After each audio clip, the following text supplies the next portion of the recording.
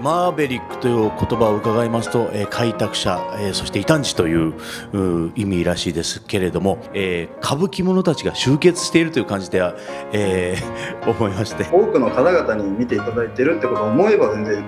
まあ実際に弾いてみれば寂しくもなかったですし。今回こうして素晴らしい方々と共に受賞することができてとても光栄です。またレストランに